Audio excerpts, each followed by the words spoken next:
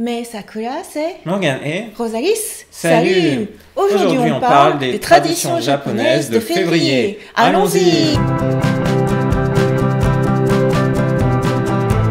On a déjà eu un petit aperçu de ces traditions quand j'ai fait ma vidéo sur Animal Crossing, ce qu'on attend en février. Et là, on va vous parler plus précisément de tout ce qu'on a pu vivre au Japon, notamment cette seconde. Donc quand vous allez sur ma chaîne, ou alors vous tapez la même recherche que moi dans YouTube, j'ai tapé Rosalie Setsubun, on voit que j'ai déjà fait euh, des vidéos à travers les années sur euh, Setsubun et les euh, traditions japonaises et aussi du vocabulaire japonais. On a fait aussi une 360. Oui, on était allé à Kanda, Kanda Myojin le grand temple euh, sanctuaire, hein, qui est situé juste à côté de Hakihabara, ce fameux sanctuaire qu'on voit dans des animés comme Love Live. Et oui, et ce n'est pas tout, parce que du coup, on a vécu la tradition à plein de... Parce que qu'est-ce qu'on trouve partout dans les combini, dans les supermarchés? Dans les supermarchés, ben, on trouve des masques de Oni, des fameux monstres japonais, mais également des mamés, des petits haricots qu'on lance à la maison. Et oui, parce que Setsubun, en fait, c'est euh, pour célébrer l'arrivée du printemps. Et en fait, à cette occasion-là, on chasse les Oni, les ogres, les, euh, monstres. Et euh, on rapporte la bonne, fortune, la chance chez soi. Mhm. Donc la tradition veut que on chasse les Oni. Voilà, et du coup, il y a quelqu'un dans la famille qui met le masque de Oni qui se fait chasser comme ça. Je t'ai chassé, Morgane. Eh oui, tu m'as chassé. J'avais voulu rentrer et j'ai été chassé à coups de, de petits euh, graines de haricots et je suis parti et je suis revenu euh, en mode normal. Ah, c'est vrai, ça c'est notre appartement, un de nos premiers appartements à Tokyo, ouais, non? C'est ça. Hmm. Hmm. Donc on voit les haricots, les mamés dans la petite barquette. On voit aussi que le masque est un petit peu Il est tout petit. petit pour moi. c'est typiquement quelque chose voilà, que les parents font avec leurs enfants. Et euh, du coup, effectivement, comme tu le dis, c'est dans tous les combinés, dans toutes les supérettes, on voit ce type, euh, ben, des petites boîtes de haricots justement à acheter. Je crois qu'on l'a acheté pas cher. Les masques. Hein. Ah là, c'était vraiment pas cher, c'était genre 300 yens. Ouais, euh, 1,50€, euros, voilà. Hmm. Et donc, en fait, euh, les mamés, bon, c'est conçu pour être jeté et pour euh, voilà, mais en fait tu peux les manger aussi. Eh oui, une fois que tu n'as peut-être pas tout utilisé pour chasser les honnies, tu peux manger ce qui te reste. Et eh, quand même, c'est pas pratique quand tu fais ça en intérieur parce qu'après, faut que tu cherches toutes les, tous les haricots qui ont roulé partout. Ouais, c'est vrai. Mais c'est quand même emblématique dans des mangas parfois ou dans des animés, on le voit, on voit les personnages jeter euh, eh bien, ces fameuses graines je trouve, euh, par exemple, dans les animés qui sont très saisonniers, hein, dans les séries de Magical Girl, par exemple, comme Pulikyoa, on voit tout le temps, euh, habituellement, un épisode euh, autour de cette tradition. Au fait, quand je parlais de Oni et d'ogre, voilà, c'est dans le folklore japonais. Peut-être que vous connaissez la mu. elle est typiquement comme ça, elle a des cornes et puis un costume, tu vois, un peu tigré. Mmh. Mmh. Voilà. Ensuite, ben, quand il n'y en a plus, il n'y en a, plus. en fait, c'est moi qui ai tout mangé. Il, me semble que toi, tu n'avais pas trop aimé non, manger ça. c'est pas mon truc, ce type de graines. c'est bon. Hein. Mm. Ça fait un peu euh, apéritif, tu mm. vois. Et donc, ce n'est pas la seule tradition. Toujours pour cette sobune, il y a aussi des heomaki. Heomaki. Donc, euh, du coup, euh, des maki. Donc, ça, c'est de la nourriture salée. Hein, c'est du riz enrobé dans du feuille de nori, mais en longueur, et qui sont censés euh, pointer en direction de la chance. Donc, euh, oui, il faut que tu le manges dans une certaine direction. En fait, c'est les makizushi, ce qu'en France on appelle parfois sushi à tort, mais c'est tout ce qui est euh, ah, enroulé, quoi. En fait, traditionnellement, c'est coupé et après présenté sur la tranche. Après, tu manges ça avec des baguettes. Bah là, en gros, c'est comme si c'était pas coupé, quoi. C'est resté sous forme de, de rouleau. Et euh, ce qui est spécifique, c'est que c'est très gros, beaucoup plus gros que euh, les makizushi habituels qui sont faits de la taille d'une bouchée. Quoi. Donc là, on voit qu'on a pris cette photo-là euh, le jour de Setsubun. Et c'était mis en avant très spécifiquement. On ne trouve pas ce type de maquis tous les jours. Ou en tout cas pas mis en avant de cette manière-là. D'ailleurs, on voit aussi que sur ce présentoir-là, en bas, il y a justement les petits masques de Oni ainsi que ah les oui, c'est vrai. Donc c'est vraiment le sorte de set complet pour fêter cette Sobun chez soi. Mm. Bah, nous, on n'en a pas pris parce qu'on est végétarien, mais euh, voilà, c'est euh, pour connaître un petit peu tout ce qu'il y a autour de cette tradition. Et comme on est avec Morgane, Morgane, c'est Monsieur Livre. Des livres. Quand on regarde justement les rayons jeunesse de livres au Japon, ben, ils sont comme en France aussi, un petit peu rythmés par les traditions. Et du coup, euh, début février, eh bien, c'est Setsubun. Donc il y a plein de livres avec Setsubun mis en avant et des histoires autour des, de ces ogres japonais, les Oni. Donc je trouvais ça effectivement assez amusant que eh bien, les traditions du coup de la vie quotidienne rejaillissent évidemment aussi dans les mises en avant en facing dans les librairies. Ce n'est pas tout parce que comme je le disais, nous allons voir ça dans Animal Crossing New Horizons. Donc je vais euh, préparer tout cette souboune sur ma chaîne de gaming. Hein. Et donc euh, ce qu'on voit dans Animal Crossing New Horizons, c'est une scène donc tu vois qu'il y a des euh, personnes en kimono bien habillées qui jettent les mamés, puis tu vois les oni aussi sur une grande scène. Ça représente bien la réalité. J'en ai parlé dans ma vidéo sur euh, les mises à jour carnaval, les mises à jour de février. N'hésitez pas à regarder. Vidéo Tadam Ce que vous avez vu euh, comme image Animal Crossing, c'est ce qu'on a vécu dans la réalité à Kanda Myojin. Voilà, tu vois, en fait, ce sont des stars il y a des stars de télé, des stars de baseball, il y a plein de gens. D'acteurs. Voilà. Mm. Des euh, special guests qui viennent lancer. Mais en fait, ils jettent pas que des haricots, eux. Il y a une partie, c'était des haricots, c'est vrai. Et mm. une autre partie, c'était euh, des cadeaux. Ouais, des tout petits goodies, hein, comme ça. Voilà, c'est vraiment une fête dans les sanctuaires. C'est même, euh, il y en a qui sont retransmis à la télévision, hein, de séquences comme ça où euh, effectivement, il y a des, en fonction des endroits, vous avez plus ou moins des grandes stars qui sont là. Et c'est vraiment amusant de voir tous ces attroupements du coup dans le sanctuaire de gens qui viennent fêter la chose. Et là à Kanda Myojin, j'ai trouvé, c'est pas non plus le temple le plus populaire, mais il y avait une queue incroyable pour faire partie des heureux chanceux qui recevraient des mamés, voire des petits cadeaux de la part des personnes. Ouais, Donc c'est très organisé. T'as l'impression que ce sont des grands adultes, même des fois des personnes âgées, mmh. qui se transforment en enfants, qui font Ah, ils essaient d'attraper à tout prix. C'est incroyable. Quoi. On le voit bien sur cette image, c'était une petite vidéo perso qu'on a pris. Euh, qui est inédite, du coup on l'avait jamais publiée sur euh, mon site. Mais sinon, ce que vous pouvez trouver aussi sur euh, ma chaîne YouTube, c'est notre vidéo 360. Et là, vous pouvez bouger comme vous voulez pour regarder ce que vous voulez, quoi.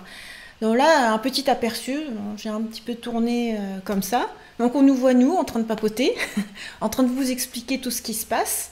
Et en fait, bah, devant, vous voyez la scène. Voilà, donc célébration Setsubun, tu peux le faire soit à la maison, en famille et tout, soit aller à ce style d'événement. Ce qui est sympa quand tu regardes la vidéo, la 360, c'est d'avoir aussi l'ambiance sonore. Ah. C'est-à-dire vraiment tout ce qui bah là, j'ai pas mis le son, mais euh, du coup, mm. euh, n'hésitez pas à, aller voir. Mm. C'est vraiment, c'est très très festif. Donc pour rappel, hein, euh, il suffit de taper exactement ce que j'ai tapé dans le moteur de recherche de YouTube. Et puis sinon, j'essaierai de vous mettre des liens dans le petit i, mais il n'y aura pas assez de place pour tout mettre. Donc regardez ce que j'ai tapé. pour la suite. Donc je disais, cette Subun, c'est pour fêter l'arrivée du printemps. Bah oui, euh, début février, c'est déjà le printemps au Japon, en particulier à Tokyo. Il fait de plus en plus chaud.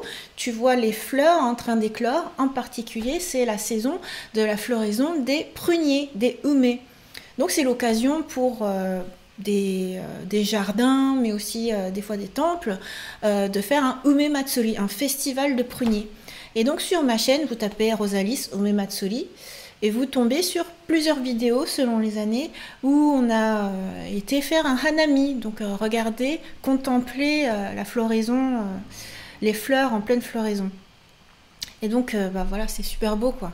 Ouais, et puis, comme tu le dis, en fait, vraiment le printemps à Tokyo arrive dès début février, puisqu'on mm. peut faire de très belles photos et c'est le cas de vidéos également qu'on a mis sur la chaîne, qui ont été tournées début février. Mm. Parce qu'il faut bien se dire que Tokyo est une chaîne et une ville pardon plus au sud que ce qu'on connaît de la France. Hein. J'aime bien prendre cet élément-là pour se dire où il est situé dans la carte du globe. C'est à la même niveau en fait que Malte, donc beaucoup plus au sud que, que ce qui est du coup le territoire français hexagonal. Et ça permet d'avoir des températures qui oscillent beaucoup à Tokyo en, hiver, entre à la fois du froid, il peut neiger au mois de mars, c'est arrivé euh, l'année dernière, comme il peut y avoir un temps totalement, euh, eh bien, qui incite à la floraison. En tout cas, les pruniers, euh, du coup, fleurissent avant les fameux cerisiers, mm. mais du coup, dès le mois de février, on peut faire de très belles photos avec des arbres dédiés et de la même manière qu'il y aura des matsuri et des hanami autour euh, eh bien, des sakura, des fameux cerisiers, il y a aussi la même chose autour des pruniers. Donc euh, on peut atteindre euh, des températures assez élevées. Hein. Là, vous voyez que je suis habillée très légèrement. Pour ceux où mes matsuri, il faisait 25 degrés. Genre en France, en février, tu pars en vacances d'hiver. juste pour montrer aussi à propos de cette Subun, c'est la première année cette année euh, qu'on va le célébrer le 2 février. Mmh. Depuis plus de 124 ans. Ouais, 124 ans, en fait, il avait tout le temps lieu le 3 février. Mmh. C'est lié en fait euh, au, nouvel an lunaire et à, des éléments qui sont associés euh, du coup qui sont changeants d'une année sur l'autre, qui sont mmh. identifiés, ce qui fait que cette Tsubun se fête effectivement entre le 2 et le 4 février, c'est-à-dire en fonction des, des années. Et cette année, comme tu l'as dit, c'est euh, incroyable parce que ça fait plus de 124 ans que ce n'était pas le 2 février. Voilà, donc euh, la fête, c'est du coup le deuxième jour du deuxième mois. Ouais, là pour la peine, facile à retenir. Très cohérent. Donc, euh, Umematsuri a célébré, euh, et ensuite il, il y a la Saint-Valentin. Eh Qu'on fête partout dans le monde. Et alors au Japon, c'est quelque chose d'énorme, la Saint-Valentin. On mm. se rappelle que la Saint-Valentin au Japon a ceci de caractéristique, c'est que c'est plutôt du coup les filles qui offrent aux garçons. Oui. Sachant qu'il y a l'élément inverse qui a lieu un mois plus tard, le 14 mars, qui s'appelle White Day au Japon, ils sont malins au niveau des actions, en tout cas autour des commerces de chocolat ou autres. Du coup, il y a deux moments. Il y a le 14 février et le 14 bah, mars. C'est normal, je vois pas pourquoi ce serait que la fille qui offre quelque chose. Oui, c'est sûr. Là, dans la vue japonaise en France, ça va dans les deux sens plutôt. Ah la Saint-Valentin, c'est toujours plutôt dans les deux sens. C'est-à-dire les garçons offrent pour les filles et réciproquement. Ah, je savais pas qu'elle est réciproque. Bah si, voyons. Bon, T'as oublié Non, je sais pas. Je, l'ai toujours fait à la japonaise. C'est-à-dire que cette année, là, le 14 février, peut-être qu'on fera un petit live. Oui, si tu veux. Et du coup, euh, j'offrirai mes cadeaux à Morgane. Ah, il y aura des cadeaux? Bah, tu vas voir. Donc, traditionnellement, au Japon, ce qu'on offre, c'est du chocolat, quelque chose au chocolat. Euh, ça peut très bien être un gâteau au chocolat. C'est pas obligatoirement euh, que des bouchées au chocolat, quoi. Donc sur ma chaîne, quand on tape Rosalie Saint-Valentin Japon, on tombe sur des dégustations japonaises, mais aussi une vidéo de cours de japonais par rapport euh, à la Saint-Valentin, mais aussi euh, promenade dans un food show. Euh, parce que du coup, euh, toute l'industrie du chocolat est en ébullition à ce moment-là. Un food show, c'est un étage entier de department store dédié que à la nourriture, des petits stands, enfin des petits, des petits stands, ouais, des petits stands comme ça, de très grands chocolatiers, mm. des fois euh, des stands temporaires mm. exprès pour l'occasion, de chocolatiers même français, allemands, voilà, de par le monde qui viennent faire euh, leur exhibition, enfin leur euh, exposition euh, de chocolat spécifique pour la Saint-Valentin. Donc ça, c'est une des manières de célébrer la Saint-Valentin, c'est offrir du chocolat de luxe. Une autre manière aussi, c'est de préparer soi-même son chocolat. Comme ça, tu vois, tu mets tous tes sentiments à l'intérieur et ensuite tu peux déclarer ton amour à la personne. Donc ça, c'est des petits chocolats que j'ai préparés moi, dont vous pouvez voir la vidéo de recette. vous tapez Rosalie Chocolat Valentin et vous tombez sur mes truffes chocolat japonais. Donc pour ça. Eh bien, il y a des choses incroyables, des rayons incroyables dans les supermarchés. Donc ça, c'est des emballages pour faire euh, un beau petit paquet. paquet. Tu vois, comme dans Animal Crossing, il faut que l'emballage il soit joli. Mais aussi. Le chocolat, les différentes saveurs, des épices, les moules. Bah, des rayons complets en fait pour préparer, décorer, euh, voilà, customiser au maximum euh, ton chocolat. Donc ça, c'est aussi quelque chose de spécifique. Quand en France, j'ai voulu faire la même chose, bah t'as le rayon pâtisserie classique, quoi. T'as pas grand chose. Mais t'as rien qui est mis vraiment pour l'occasion. Là, c'est un rayon qui a été mis euh, bien trois semaines avant la Saint-Valentin, mis en avant. En plus, là, vous voyez, il y a quand même beaucoup de beaucoup de moments, beaucoup de rayons à l'intérieur de ce supermarché qui n'étaient mm. pas si grands. donc il faut bien voir que ça prend vraiment une importance énorme. C'était à Shinjuku Takashimaya, ah au, sous-sol. Euh, et du coup, c'est pas un énorme espace, mais pourtant, le lieu, enfin, l'offre de produits euh, autour de la Saint-Valentin, du fait de faire ses propres chocolats, était assez énorme. Donc, on a à la fois eh bien, des petits stands qui vendent des, des chocolats de luxe et à la fois tout ce qui est création à la main de ses propres chocolats. Et euh, il y a deux éléments que je voulais évoquer en complément par rapport à ce que tu disais. Mmh. C'est qu'au Japon, la Saint-Valentin a aussi une connotation qui n'est pas que amoureuse. C'est-à-dire, c'est vraiment les filles qui offrent des chocolats aussi à leurs collègues masculins ou à leurs copains masculins. Donc euh, il y a des tomo-choco, les chocolats pour les amis, pour tomodachi, et il y a les giri-choco, ce qui est considéré comme les chocolats d'obligation, c'est-à-dire une femme qui va offrir à ses collaborateurs masculins euh, des chocolats. Oui, c'est un peu par politesse. Oui, par politesse. C'est quelque chose qui est euh, bien ancré, hein, même dans l'univers de la recherche. Je l'ai vu euh, mis en œuvre avec. Quoi? Tu as reçu d'autres chocolats que les miens? Moi non, moi non. Mais par contre, mes collègues japonais, je les voyais recevoir du chocolat, par exemple, de leur secrétaire féminine. Ah, oh, bah, comment ça se fait qu'ils t'en aient pas offert? Ah, bah, Moi j'étais occidental alors. Hein. Les ah. choses sont un peu différentes. Mais donc c'est quelque chose euh, qui est effectivement en œuvre. Ça, c'était le premier point. Donc, c'est mm. vraiment, du coup, on imagine bien la consommation de chocolat. C'est pas juste, entre guillemets, les amoureux, mais c'est vraiment toute la société japonaise qui vit au rythme de cet euh, euh événement hein. chocolaté. Tu vois, dans, dans, les sentiments, tu offres quelque chose. Et des fois, c'est pas obligé que ce soit du chocolat très cher. Ça peut être un tout petit carré euh, de chocolat voilà, que tu vas donner de choco. Euh, et du coup, ce sera quoi 50 yens hmm. Le deuxième point que je voulais évoquer, c'était ce que tu euh, soulignais, c'est-à-dire les chocolatiers français et aussi euh, la manière dont ceci a quelque part explosé au fil des années, puisqu'il y a même un salon du chocolat qui a lieu en début d'année euh, à Tokyo, qui euh, normalement fait venir des chocolatiers à, travers, à travers tout le monde, mais notamment la France, qui est mm. particulièrement populaire. Donc c'est un, c'est un, un, endroit plutôt raffiné et qui est perçu comme étant chic. Et par ailleurs, le mois de janvier-février, c'est le moment où eh bien, les marques classique de nourriture, par exemple Mister Donuts, où on va manger des donuts, fait des partenariats avec des grands chocolatiers euh, européens. Donc, euh, par exemple, l'année dernière, en 2020, ils avaient fait une collaboration avec Pierre Hermé. En 2021, ils font une collaboration avec Pierre Marcolini, chocolatier bruxellois. Donc, euh, il y a beaucoup de d'éléments qui sont importants au niveau de cette dynamique. Et euh, voilà, c'est vraiment quelque chose de notable. Dernier point que je voulais évoquer, c'est dans les mangas. Ah, attends, juste une petite pause.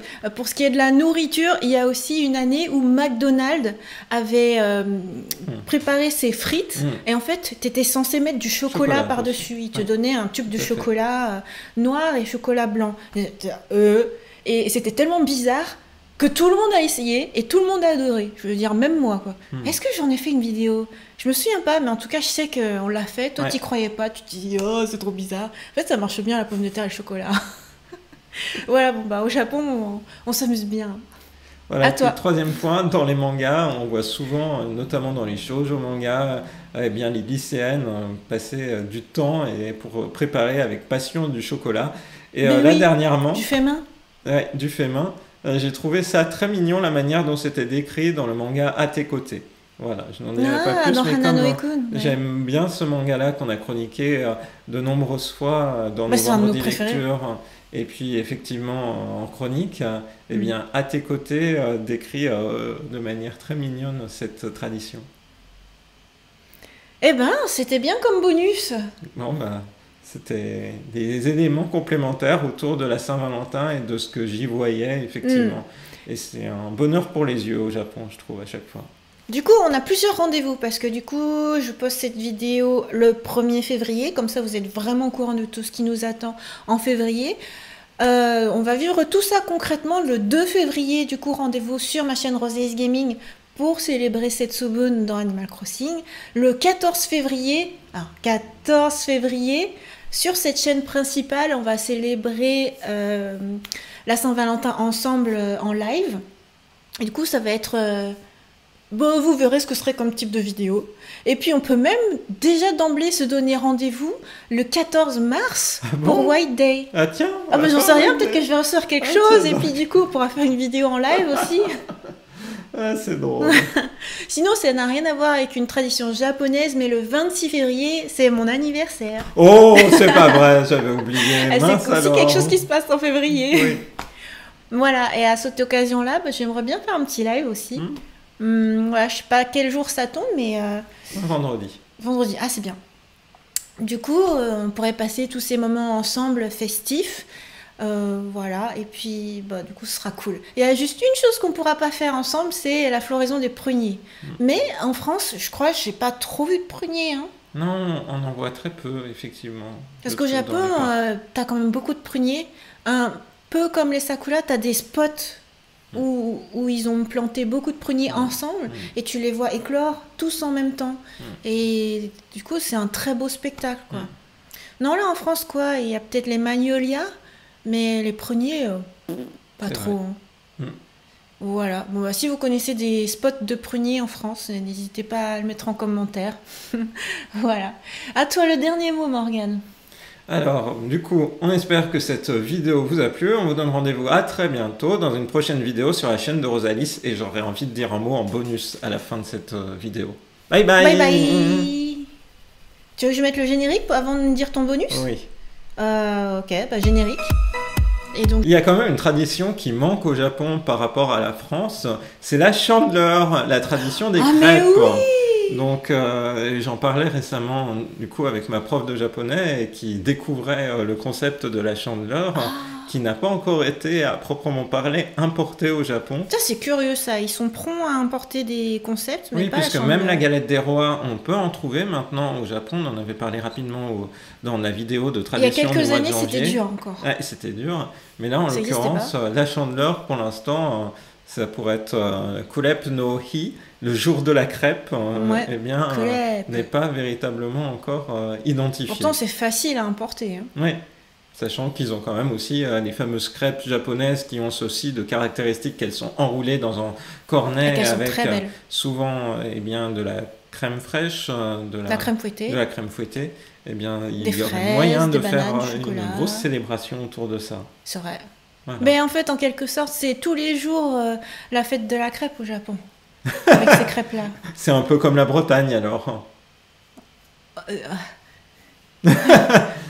voilà, donc euh, la chandeleur, on, verra si un jour on la voit apparaître au Japon. C'est quand déjà la chandeleur en France? Eh bien, c'est le jour de cette Tsubun pour. c'est pas vrai, c'est le 2 février, Ah Eh oui. Ah, d'accord. Le 2 février, en France, nous ferons des crêpes. Ouais. Si tu veux, je vais les enrouler, ça fera un petit peu comme euh, les maquis. Ouais, c'est bien. Voilà, c'était le petit bonus. Le super bonus. Bye bye